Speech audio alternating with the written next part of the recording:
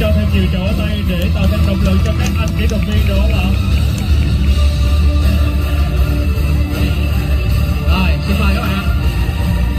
để lắp đi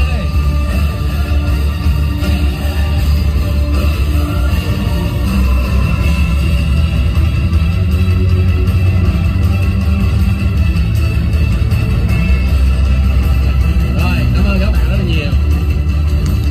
À, Hôm nay Bực có đem à, một cái tấm à, ngoài thị trường của